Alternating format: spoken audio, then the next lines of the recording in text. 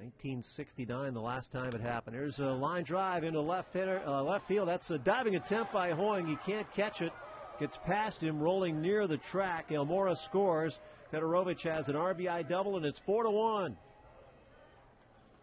Hoying a valiant effort diving to his right. I think he might have gotten his glove of the ball, but couldn't hold on, and it's a four to one ball game. Almora in, the only out of the inning on the bases with back-to-back doubles. The Cubs have a run.